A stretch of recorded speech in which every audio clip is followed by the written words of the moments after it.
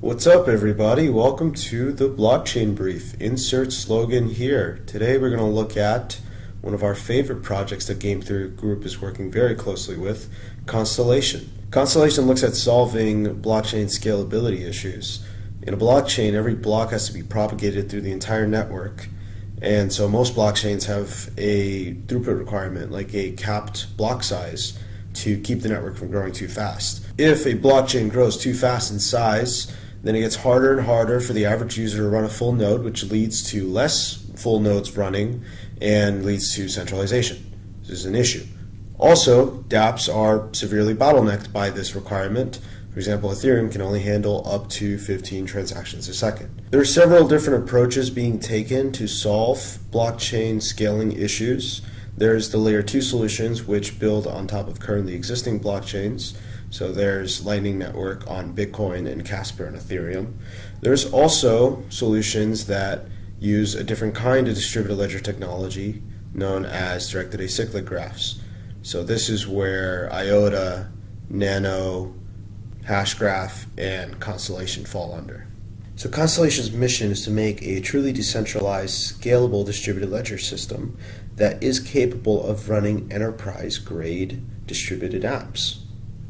The way that they're doing that is that they're taking a distributed app and breaking it down into microservices that can be fed into a DAG computational environment, which they are calling extended trust chain. Constellation is an unbounded blockchain with microservices. Unbounded means that unlike a regular blockchain where adding a new node means that there's just a new node that needs a full copy of the blockchain, instead each new node adds their own bandwidth and resources to the network.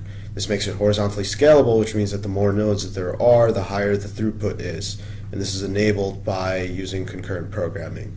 Microservices are when you take a complex service break it down into simpler services that can be fed into a DAG computational environment. Any device can be a full node and contribute bandwidth and resources, even mobile devices. This creates a truly decentralized distributed mesh net of connected devices. The blockchain architecture that Constellation uses is known as Extended Trust Chain. In Extended Trust Chain, there are stars, which are the basic nodes that can make transactions and keep track of all of their transactions and then broadcast those transactions out through Gossip. In Gossip Protocol, each node only keeps track of its neighbors, and when it sends a transaction, it broadcasts to all of its neighbors, which then sends it to all of their neighbors, and thus it goes. This is how you can have consensus in a network where not every node has to have a full copy of the blockchain. So star clusters are the delegates that do the consensus on the transactions, hash them together, and add them to the chain.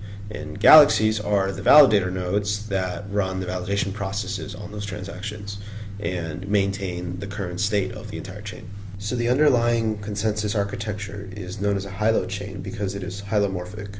Um, what a hylomorphism is, it's a kind of recursive function where in this specific scenario, a round of consensus takes the hash block of the previous round and adds it as a transaction to the transaction pool of the second round. And then the, the hash of the second round is added to the transaction pool of the third round as a transaction. So each new round has a the hash of the previous round in it, so it all gets linked back.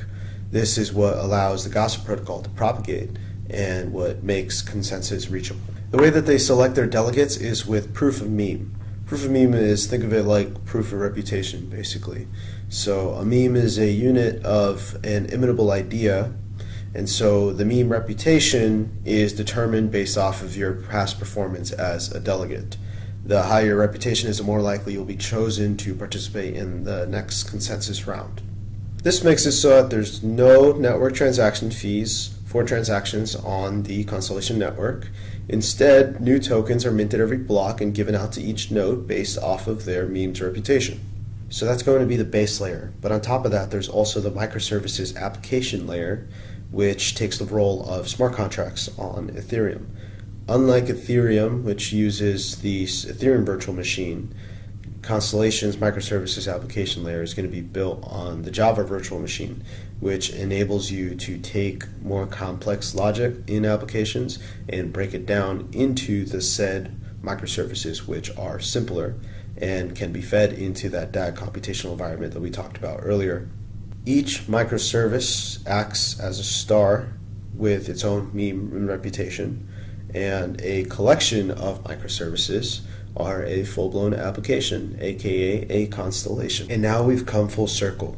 Just like a constellation only exists by the invisible linkage between the stars that make up that constellation, the Constellation Labs hypothesis is that a application, a distributed application, is its most scalable when it is broken down into simpler microservices that can be fed into DAGs and be computed with concurrent programming.